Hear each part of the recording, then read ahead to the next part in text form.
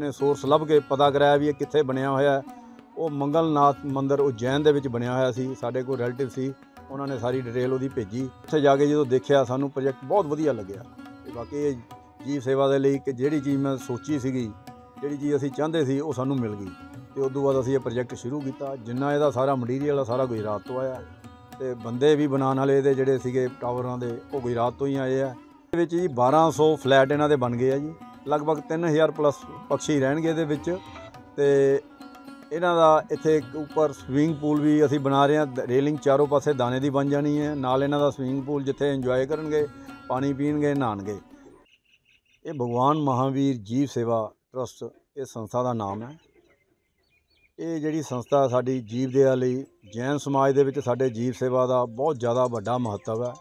ਔਰ ਸਾਡੇ ਗੁਰੂਆਂ ਨੇ ਜਿਹੜਾ ਇਹ ਕੰਮ ਸਾਨੂੰ ਆਸ਼ੀਰਵਾਦ ਦਿੱਤਾ ਤੇ ਸਾਡੇ ਮਾਤਾ ਪਿਤਾ ਜੀ ਨੇ ਇੱਕ ਸੋਚਿਆ ਸੀਗਾ ਵੀ ਕੋਈ ਜੀਵ ਦੇਵਾ, ਜੀਵ ਸੇਵਾ ਲਈ ਕੋਈ ਕਰਨਾ ਹੈ।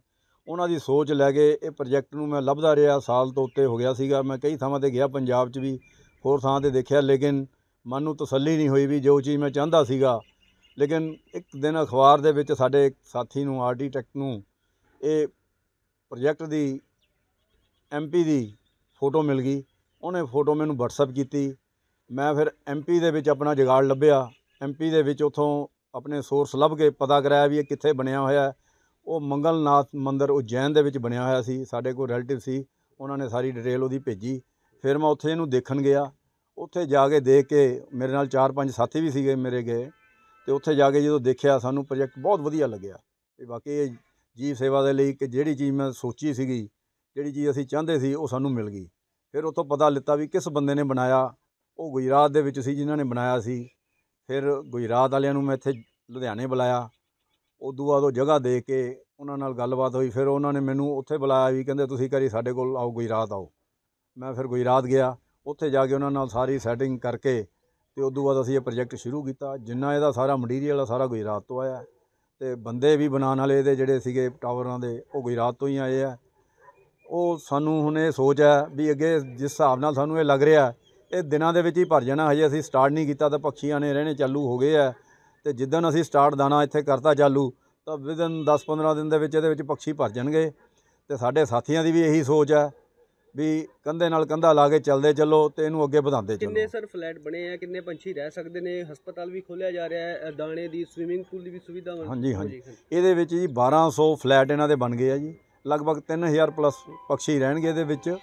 ਤੇ ਇਹਨਾਂ ਦਾ ਇੱਥੇ ਇੱਕ ਉੱਪਰ ਸਵਿਮਿੰਗ ਪੂਲ ਵੀ ਅਸੀਂ ਬਣਾ ਰਹੇ ਹਾਂ। ਰੇਲਿੰਗ ਚਾਰੋਂ ਪਾਸੇ ਦਾਣੇ ਦੀ ਬਣ ਜਾਣੀ ਹੈ। ਨਾਲ ਇਹਨਾਂ ਦਾ ਸਵਿਮਿੰਗ ਪੂਲ ਜਿੱਥੇ ਇੰਜੋਏ ਕਰਨਗੇ, ਪਾਣੀ ਪੀਣਗੇ, ਨਹਾਣਗੇ।